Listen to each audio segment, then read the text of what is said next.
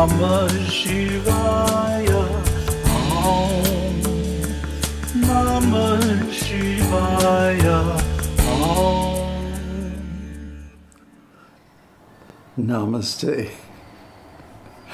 So, every yoga school, every religion says that it has the ultimate truth. if you go to the Hatha yoga schools, they say, oh, we have the ultimate truth. Everybody else is useless nonsense. And if you go to the karma yoga schools, which usually masquerade as bhakti yoga, but they're so heavily into rituals and ceremonies, and it's karma yoga. And anyway, they say, oh, no, no, we have the ultimate truth. And you follow this method and you get the greatest enlightenment, go to heaven, whatever. But then the bhakta yogis come along and they say, no, no, no, love of God is the highest truth. All those ceremonies are just preliminary. And then you go to the meditators, and they say, no, no, no, no, meditation is the highest truth. Samadhi, nirvana, nibbana. Huh? This is the highest truth, and all that other stuff is just preliminary if it has any value at all. Huh?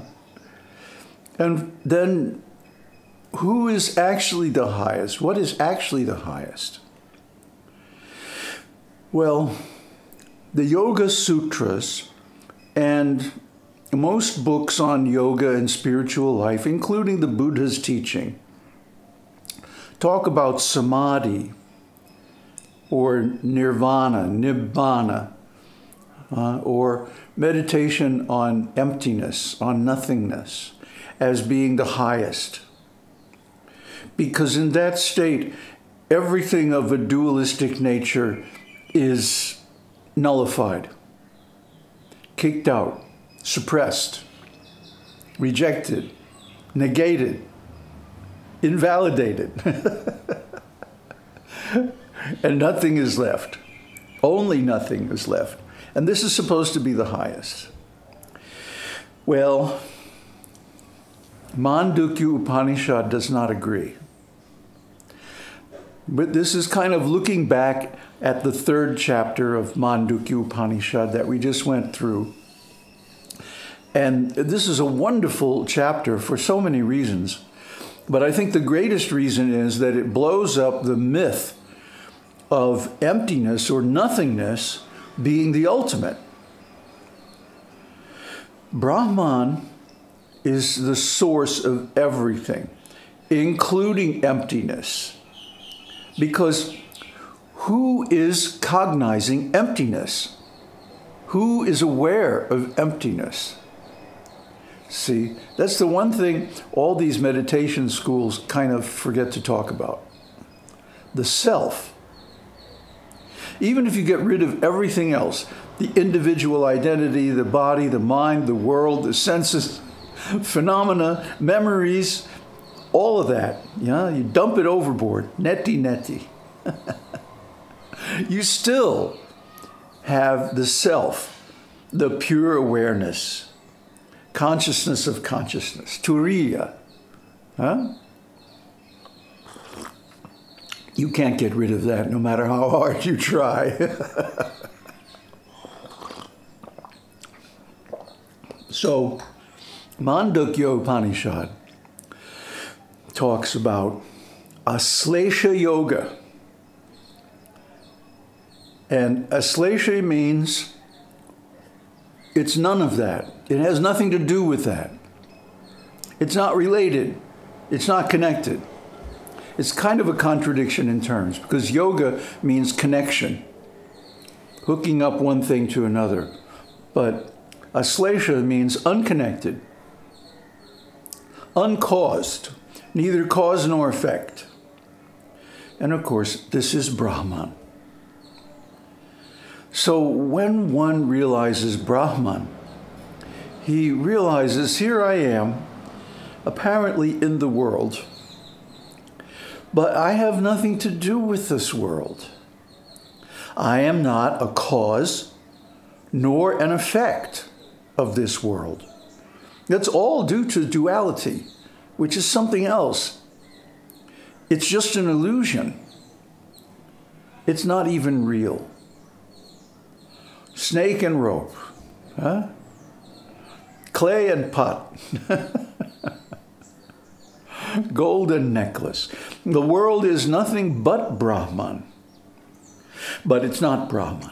It's separate from Brahman. And that's the illusion. The separateness of it is the total illusion. Because there cannot be separateness from Brahman. Only Brahman exists. Period. End of story. There is nothing else. So if something else appears, it's just an appearance. It's like a mirage of water in the desert. You know, we've been over this a bunch of times. So, the other name for this is Asparsha Yoga. There's Aslesha and Asparsha. Aslesha means no connection, has nothing to do with anything. And Asparsha means embracing, accepting everything. So, how are these two the name of the same thing? Well, they're just talking about two different aspects. Asparsha means Brahman, which is unconnected with everything. And Aslesha means because everything is simply an illusion, I don't try to negate it. I don't try to deny it. I don't try to get rid of it, make it go away. I don't try to run away from it. I accept it. I embrace it. It's okay. Because it's just a show, it's just an illusion. It can't hurt me, it can't harm me. It can sometimes amuse me. but really, it has nothing to do with me. It's like going to the cinema on a Saturday night and sitting there eating popcorn and watching, you know, whatever. Or say, you know, Netflix and chill, right? At the end, the movie's finished and it goes off and, and everybody goes to bed. So, this world is the same way. It's just a show. It's simply for the edification and entertainment of Brahman as Shiva. Shiva and Shakti. See, Brahman becomes Shiva to be the Ishwar, the controller of the world. And because he fundamentally has nothing to do, he creates Shakti, Maya, that which is not, as his energy. And she does all the work of creation and maintenance and destruction of the worlds. See? So the yogi who realizes this, who merges with Shiva, and who realizes Brahman, he's okay with all of this because this is his self. This is who he really is. So he doesn't feel like he has to run away from the world or deny it or suppress it or somehow um, disconnect from the senses, like in samadhi. He doesn't feel like he has to artificially concentrate the mind, which is, like I've said, like trying to cram a spring into a, a little uh, box or container, you know. As soon as you let go the pressure, boing, out comes the spring. It, it's never contained. It's like trying to put a monkey in a cage, you know. Try it sometime. The mind is always active and it's always reactive to what is around it. It's not independent and it's totally predictable in the sense that it's always going to resist any attempt at discipline or, uh, you know, keeping it boxed in a certain little area, confinement. so, um, but the mind is not me. The mind is not myself. The mind is not who I am. Same with the body. Same with the senses and the world that they reveal. None of this is the self.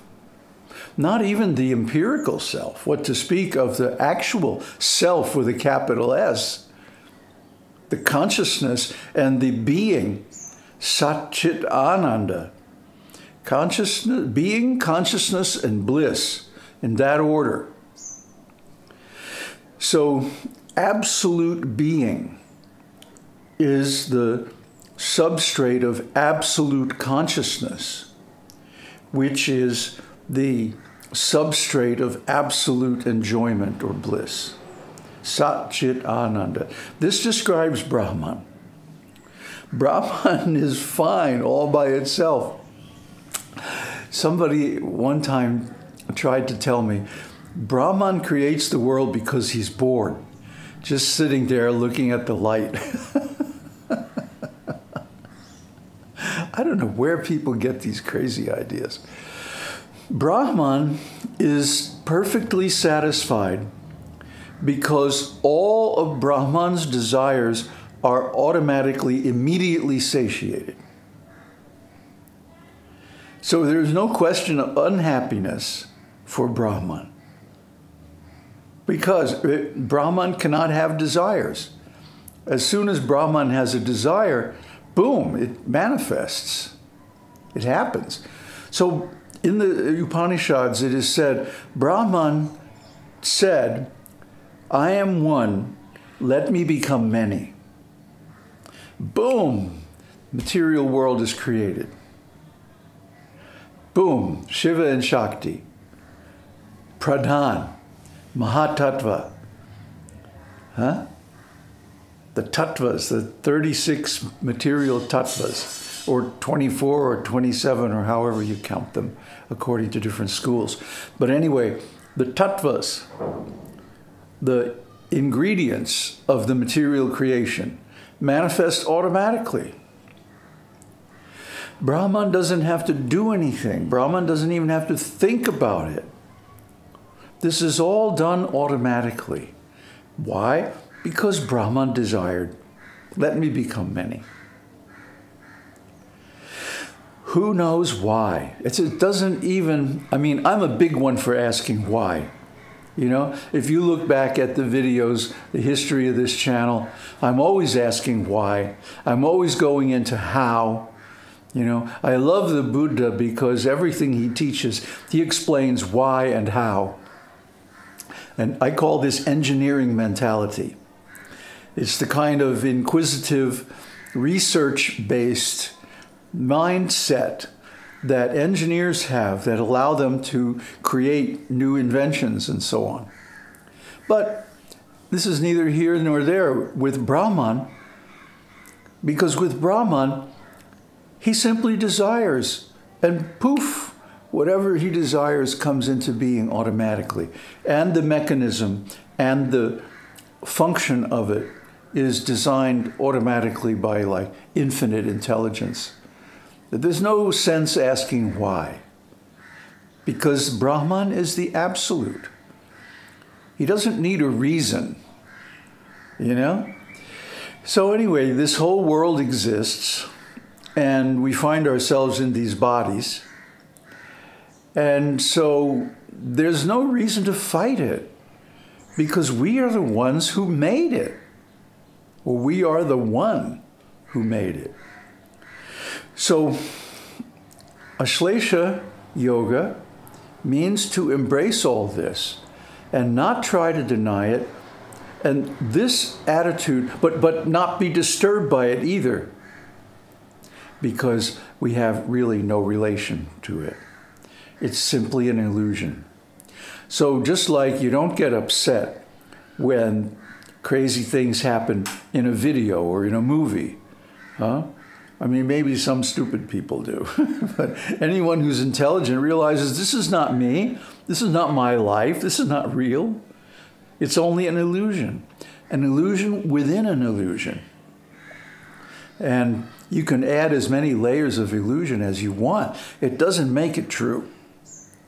So, in the same way, this material world, it's not ourself, but as long as it's there, we might as well enjoy it. We might as well live in it and accept it as it is without getting entangled. This is the key. Because as soon as we become attached, as soon as we become identified, as soon as we begin to desire in this world as an individual, we suffer. So that's really the message of this third chapter of the Karika in a nutshell that beyond samadhi, beyond nirvana, beyond meditation, beyond yoga, beyond everything, there is this state of turiya. And this is really the ultimate enlightenment. Aum Tat Sat. Aum Shakti Aum. Aum Namah Shivaya.